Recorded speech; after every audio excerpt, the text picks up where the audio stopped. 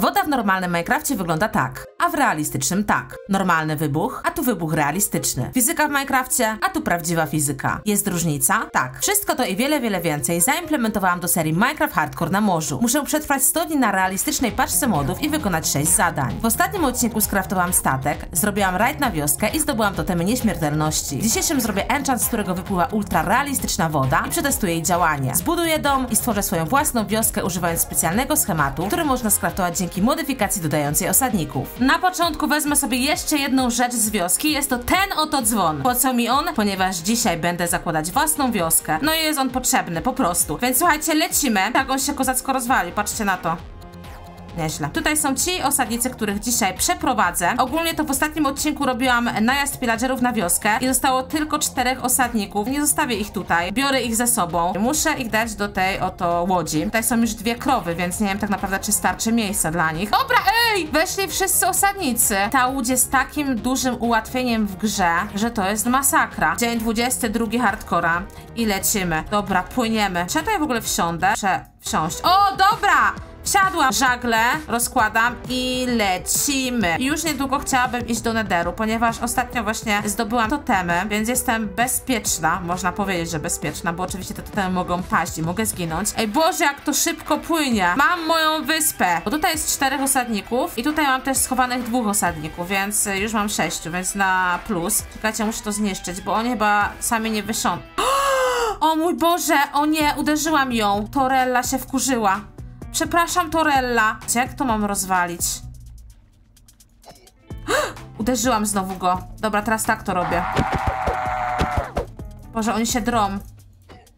O nie, o nie, już teraz mnie nie lubią. Nie, proszę, lubcie mnie. Nie chciałam. Świetny nastroju. Ej, nie, ona mnie lubi dalej. Ona mnie lubi, ale tamten osadnik ucieka. Stój, ej, przepraszam, nie chciałam. Interakcja, chodź za mną, chodź za mną. Ej, nie idzie za mną. On się wkurzył na mnie. Osadnik mi ucieka. Ich tutaj zostawię i po niego popłynę. On chyba płynie do swojej wioski. Nie uciekaj, przepraszam, nie chciałam. Wybacz mi. On ma chyba cały czas zakodowane w ogóle, że tam ma wioskę. Interakcja chodź za mną. Ja mu nie mogę kazać iść za mną teraz. Mam problem. Muszę wziąć tą łódkę mniejszą, może wezmę. I go tutaj przyprowadzę. Stój, typie, co ty robisz? Rozmawiaj, wieści. Teraz każę mu, żeby poszedł za mną jeszcze raz. Ty, on się na mnie obraził. On nie chce za mną iść. Utoniesz tutaj. Chodź do łódki.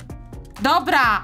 Jest w łódce. Byś utonął tutaj i bierzemy te krowy. Pierwsza krowa, chodź tutaj krowo. Schowam te krowy do jakiejś dziury i je porozmnażam. Super dziura. Modyfikacja, która daje fizykę, też sprawia, że smycz jest inna. Właśnie taka smycz podobna jest na bedroku i według mnie taka smycz powinna być na Javie. Nie jest taka sztywna, tylko właśnie tak się przewraca. To ciekawie wygląda. Jest tylko jedna krowa, nie mam pojęcia, gdzie jest druga krowa. Cały czas ją szukam. Co jest? No nie gadaj! I patrzcie, gdzie krowa była. Wychodź. Teraz zajmujemy się budową. Po pierwsze, muszę wyrównać ten teren. Zajęłam się budowaniem dwupiętrowego domu. Budowanie na realistycznej fizyce było mega trudne. Każdy blok musiał być precyzyjnie położony. Dlaczego? Jeśli postawicie źle blok, a jest on podstawą budowli i go zniszczycie, prawie wszystko u góry runie i trzeba zaczynać od nowa. O nie, nie, nie, stój, stój! Serio? Patrzcie. Nie.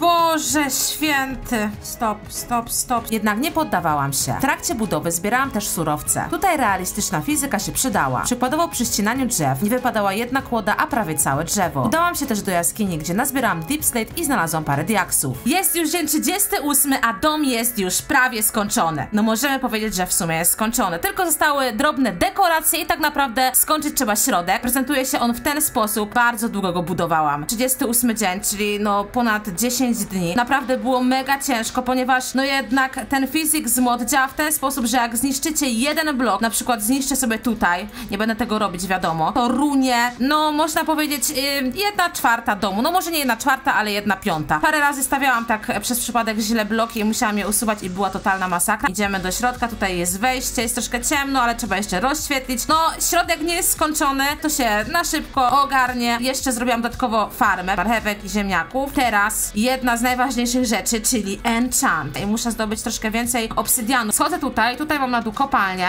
i szukamy obsydianu i może jeszcze jakieś diaksy się uda zdobyć. O Boże, moby już mnie atakują, ale na spokojnie. O dobra.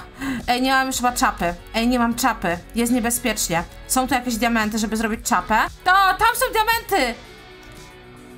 co on ma na sobie? Pokonam go. Ej, ciężko go pokonać. Jem jabłko, jem jabłko. Dobra, ej, zabiłam go. Ej, patrzcie, mam jakąś czapę w ogóle od tego szkieleta. A jak wyglądam? Mam kask wojownika, dobra. Nic nie spadnie z góry, nic. Biorę diaksy. Dobra, to spada. Ej, w ogóle jak do lawy spada, to też takie cząsteczki lecą.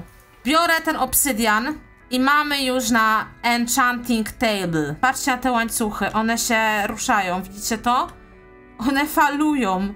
Ej, musimy sobie zrobić jakąś budowlę z łańcuchami takimi wiszącymi. Udało się. Ty, jest noc. Jest już dzień 39. Późno już. Teraz robimy enchant. To będzie ciekawe. Tam jest w ogóle farma trzciny. By tam zrobiłam, proszę bardzo, zobaczcie. Papier, pik, proszę bardzo. Oczywiście książeczki. Jedna książeczka starczy. Proszę bardzo, mam stół do zaklejenia, czyli enchant i biorę go. W ogóle po pierwsze tekstura wygląda inaczej. Zobaczcie. Teraz tutaj położę. Tadam! Tak wygląda enchant. Po pierwsze nie jest takim stałym całym blokiem, tylko ma takie wypustki, jak możecie zauważyć. To są akurat teksturpaki. Teraz go niszczymy i pokażę wam, co się stanie, jak się zniszczy. Gotowi? Niszczę enchant. Realistyczna woda. Zobaczcie na to.